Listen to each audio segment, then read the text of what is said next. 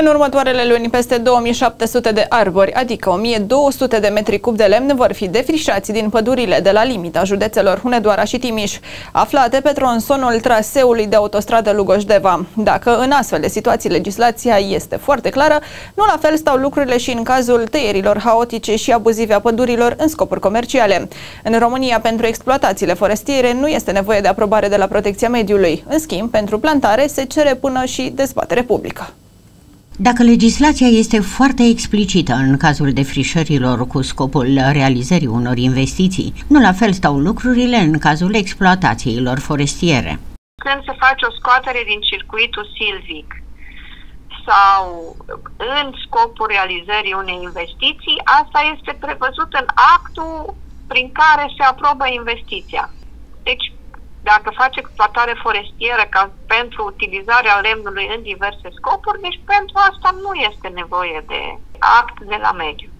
Deci, decidenții dau undă verde la tăiat pădurile după bunul plac și interes al firmelor de profil. În schimb, prin PNRR au stabilit cea mai anevoioasă cale de a împăduri dealurile și munții vandalizați de tăierile haotice. Un adevărat dezastru ecologic, după cum spun specialiștii.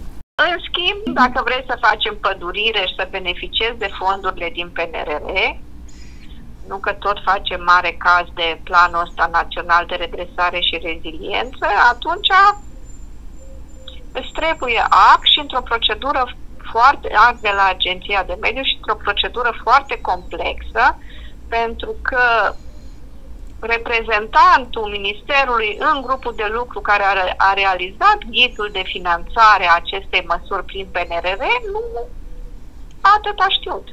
O dată informarea publică e obligatorie, dar în anumite situații, dacă se suprapune peste arii protejate, atunci să facem și consultare publică, nu doar informare publică de parcă s-ar opune cineva. În schimb, nu facem consultare, nici informare publică, nici consultare publică când se taie, când se exploatează lemn.